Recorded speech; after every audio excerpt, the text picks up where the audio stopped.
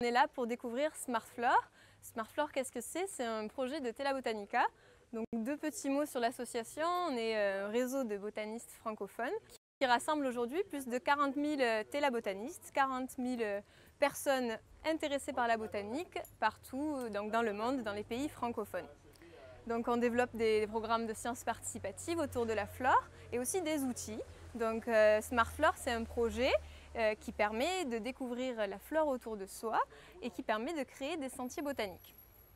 Donc Smart Flore, c'est un petit peu une boîte à outils qui a été initiée en 2013 qui permettait sur Internet, via le tableau de bord, de créer des sentiers botaniques.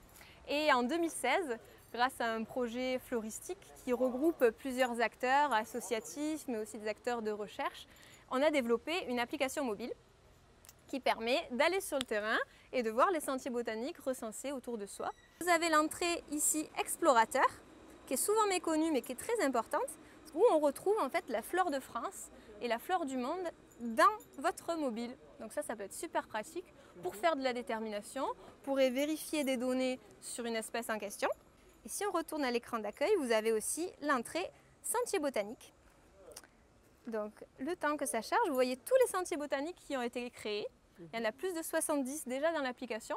Donc en France, mais on voit aussi en Afrique. Comme on a un réseau euh, francophone, on en a en Afrique, dans les dom-toms. Hop, et si je zoome donc, sur la zone où on est, donc là on est bien au jardin des plantes, et on voit qu'ici il y en a deux. Donc un sentier apprendre la botanique au jardin des plantes. Donc ce sentier a été créé par Denis dans le cadre du MOOC botanique, qui est du coup des cours en ligne d'initiation à la botanique et qui invite à reconnaître euh, des espèces. Et du coup, euh, Denis s'est approprié ce projet-là pour faire découvrir les espèces du MOOC que l'on retrouve ici. Et on voit qu'on en a un autre, donc sur les arbres remarquables. Donc ça, c'était un petit peu le, euh, déjà le sentier qu'il y avait déjà en amont au jardin botanique, qui était la valorisation des arbres remarquables du jardin. Et euh, Denis a décidé de le valoriser aussi numériquement. Donc il y avait déjà des panneaux qui étaient existants euh, au jardin. Et c'est intéressant de l'avoir fait aussi numériquement pour l'enrichir du coup de SmartFlore. Donc comment ça se passe? Si on y va dessus, on va voir aussi que la, L'atout euh, de ce sentier, c'est d'avoir les espèces ici.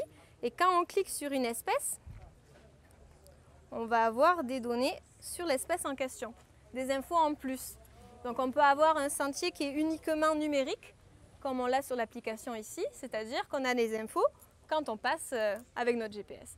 Mais on peut avoir aussi des sentiers matérialisés, c'est-à-dire qu'on met en place des panneaux où on a des QR codes qu'on flash et quand on flash ce QR code, ça nous renvoie vers une fiche espèce avec plus d'infos sur l'espèce en question. Je vais vous montrer l'exemple d'une fiche espèce. Donc ici, on a l'espèce, les différentes photos des organes. Pour reconnaître, ça peut être euh, pratique, donc en même temps, on apprend.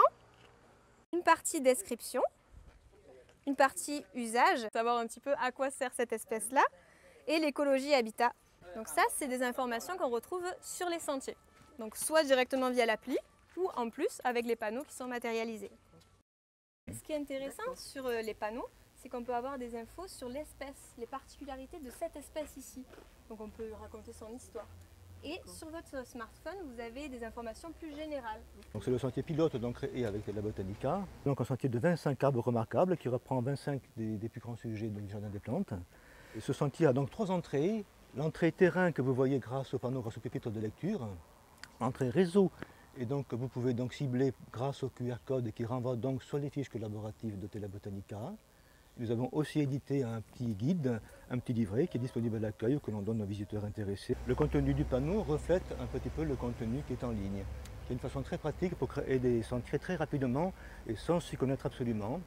Donc on peut très facilement exporter un sentier créé par le réseau et par donc, euh, des botanistes qui font ces sentiers collaboratifs. C'est prêt à l'emploi. Et on peut aussi très bien après personnaliser un petit peu ce contenu et c'est là qu'on a quelque chose de très intéressant. Ces sentiers géolocalisés peuvent être euh, utilisés à beaucoup d'usages en fonction de ce qu'on veut valoriser. Donc je vais vous présenter maintenant le second sentier sur euh, SmartFlore, celui que nous avons initié donc euh, grâce au MOOC de Télébotanica et donc pour illustrer donc les plantes et présenter lors de la formation. Et donc j'ai mis une trentaine de plantes sur le terrain. C'est des plantes qu'il faut pouvoir un petit peu chercher parce qu'elles sont mussées un peu dans le paysage. Ce sont des plantes sauvages qui sont celles donc, euh, qui ont été apprises donc, lors de la formation et que j'ai illustrées sur le terrain. On ne les verra pas toutes aujourd'hui parce que malheureusement c'est aussi des plantes qui sont souvent annuelles et, qui ne sont déjà en fin de cycle. Mais c'est aussi cela qui est intéressant de montrer que nous montrons aussi des plantes qui ne sont pas forcément des, grandes plantes, des majestueuses, des grands arbres, mais aussi des plantes sauvages et qu'il faut savoir reconnaître. Et, nous allons nous balader dans un jardin des plantes comme si nous étions dans la nature, en plein plein de la nature sauvage. C'est ces plantes-là que nous allons chercher dans le paysage grâce aux panneaux A4 qui sont posés dans le paysage et que vous allez devoir trouver. Le sentier que vous avez là est un sentier caduque. Il s'effeuille, il disparaît.